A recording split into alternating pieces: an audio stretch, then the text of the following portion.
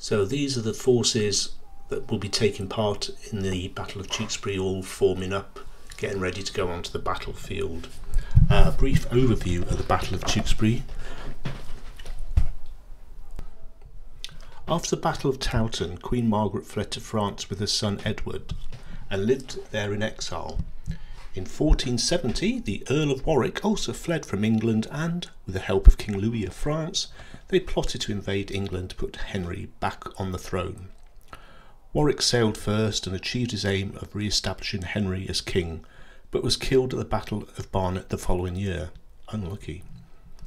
Margaret and Prince Edward left France and arrived in England at Weymouth on the very day that Warwick was killed at the Battle of Barnet and Edward was restored to the throne. They were met by Edmund Beaufort, the Duke of Somerset, and Jasper Tudor, the Earl of Pembroke, who convinced them that they should stay and fight for the crown. Jasper Tudor went to Wales to gather troops. The Queen and the Duke of Somerset raised troops in the West Country. Margaret's army marched north hoping to meet Jasper Tudor in Gloucester, but the city gates were shut against her. Didn't she have any spare keys? She then had no choice but to march on along the River Severn looking for somewhere to cross to meet up with Jasper Tudor.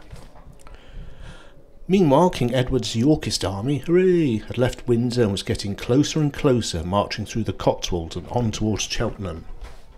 On the evening of May the 3rd, Margaret reached Tewkesbury. There was no time to go further because King Edward was so close. She and her army had to stop and they knew they would have to fight Edward's army.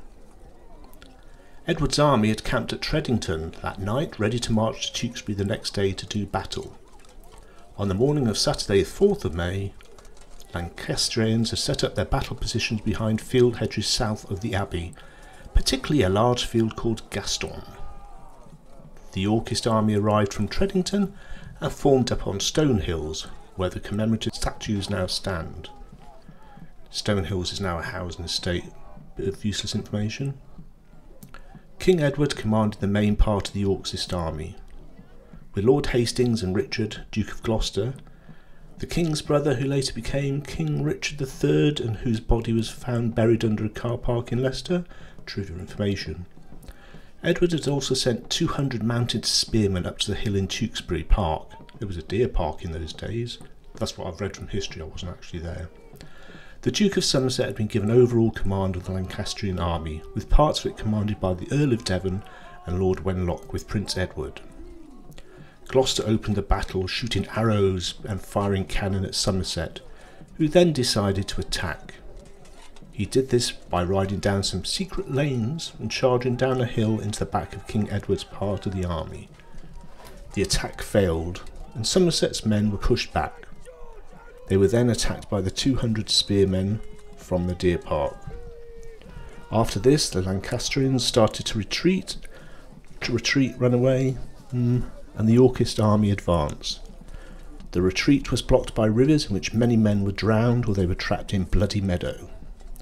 Prince Edward was killed in the fight and soldiers fled everywhere, including into the abbey. Later the leaders were put on trial. Seventeen men, including the Duke of Somerset, were found guilty of treason and beheaded in Church Street. Many of the dead, including Prince Edward, were buried in the abbey. That's Tewkesbury Abbey, by the way, his mother, Queen Margaret, was captured and held prisoner for several years. King Edward and his brothers made a triumphant entry into London on the 21st of May. He was now the undisputed King of England. Thank you.